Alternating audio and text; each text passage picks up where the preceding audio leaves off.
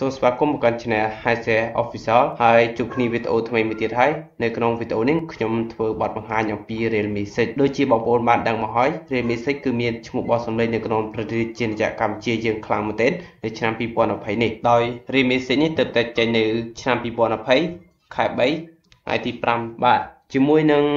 Realme 6នេះគឺវាមានអេក្រង់របស់វា6.5អ៊ីនហើយកម្រិតភាពច្បាស់របស់វាមាន រហូតដល់18គុណនឹង2400 pixel ហើយ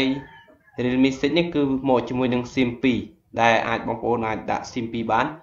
ហើយដំណើរការរបស់ Realme 6គឺដំណើរការដោយប្រព័ន្ធ Android 10ចំនួនចុងក្រោយបើនិយាយអំពី memory របស់វាគឺ Realme 6គឺមានមានរហូតដល់ចាប់ពី 64G រហូតដល់ 120G ហើយ RAM របស់វា គឺមានចាប់ពី 4G រហូតដល់ 8G ឯណោះបើយើងនិយាយអំពីកាមេរ៉ារបស់ Realme 6នេះកាមេរ៉ារបស់វាមានរហូតដល់5គ្រាប់ឯណោះដែលខាងក្រៅគឺមានវាមាន4គ្រាប់ហើយនឹងកាមេរ៉ាគោលរបស់វានៅខាងក្រៅគឺវាមាន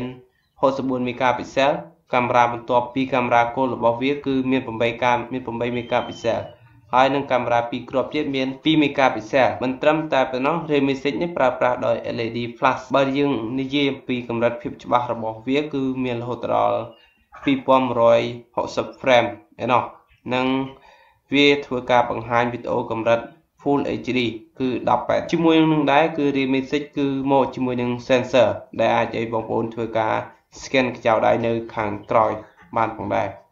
ជាចុងក្រោយគឺ Redmi 6គឺ វាមានថ្មរហូតដល់4300មីលីអាំពែម៉ោងនិងធ្វើការសាកថ្មត្រឹមតែ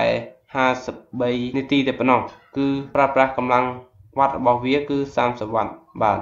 ជាចុងក្រោយគឺខ្ញុំសូមអរគុណខ្ញុំធ្វើការបទបង្ហាញទាក់ទងទៅនឹង Redmi 6គឺមានតែប៉ុណ្ណឹងសិនជាបងប្អូនចូលចិត្តវីដេអូនេះកុំភ្លេចចុច like ចុច Subscribe នៅ Channel របស់ខ្ញុំម្នាក់មួយផងបាទសូមអរគុណ